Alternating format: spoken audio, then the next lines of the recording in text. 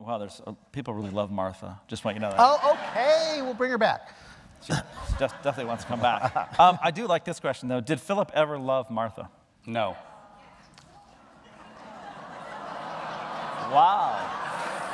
Wow. You Split the audience. I don't think the audience believes you, but is that, is that how you feel if your character is Philip? Did, did he never really loved her? no. I think he felt enormous guilt. And that's how I played it, is that he, he realizes, you know, with, with each step that it's, it's becoming, you know, this, the, the, what he's asking of is, is becoming so enormous. And, and, and, and that's, you know, to me, that's what it always was, that it was, he felt this enormous guilt. But I, ne- I never thought, did you write him as, was he in love?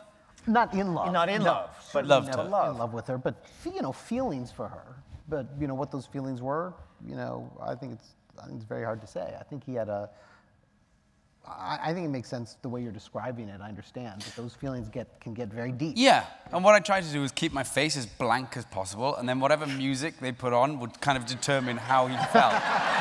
But then, but then we didn't do music. no. Then we didn't do music. So everyone was like, the- how does the he blank feel about it? He looks so blank. You know, you know how I would describe it. I would describe it as he cared about her. He he did come to care about her. I, I'd agree with that. Well, and, and I'd say that there, uh, to me, I think there was love in that caring, and that's part of what made it complicated. And that's different than being in love with somebody. But uh, you, you forge a relationship, and you even tell yourself, well, I'm just feeling guilt.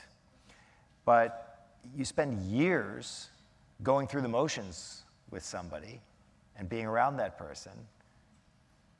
You'd have to be pretty dissociative and pretty inhuman not to have feelings, and Philip's a human being. Even if you, Matthew, yes, obviously. yes. Old blank face Rhys, as he's known. Well, this is this is actually kind of a fascinating uh, glimpse, sort of, into the process because, um, as you know, when you have actors of this quality, you don't just tell them what to do; they get to have input and, and do things. And so here's a scene where he, Matthew, very clearly says that Philip doesn't love Martha, and then you two talk about love, and then. in- Interestingly, a lot of people believe that sometimes Keri, your character Elizabeth, her reactions are that she feels jealousy because she thinks that he likes, he loves Martha. But whether that I don't think changes the way Philip feels. You can perceive someone. I could perceive, you know, someone having feelings for someone that they don't at all. It doesn't matter what that person. It's that you know. That's just my experience. That I, my character would be worried about him being so careful with her and being so. I think that was what was so great, and it, to me, it really pushed Elizabeth's sort of sensitivity and um, and love sort of for this partner. Um, I liked that, seeing that, and I liked seeing her wounded by it. I mean, I think it was painful for that character.